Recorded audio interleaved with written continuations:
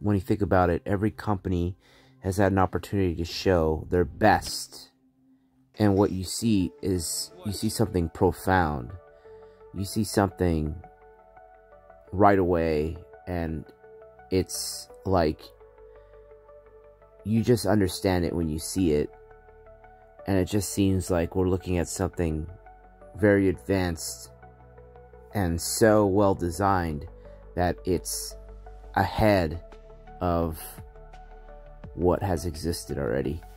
Um, this Chinese company um, in robotics showcases um, their talent and the money that's being put into the project, and uh, very nice features that are uh, desirable for a um, humanoid robot. So I would um, I would suggest you watch the video and pay attention to the details closely again, um, because uh, it's these videos are short with fast cuts.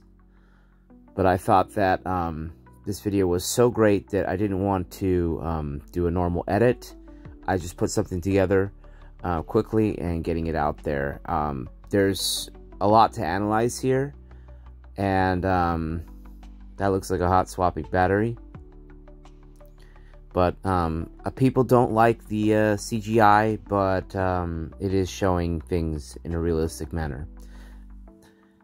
Thanks for watching.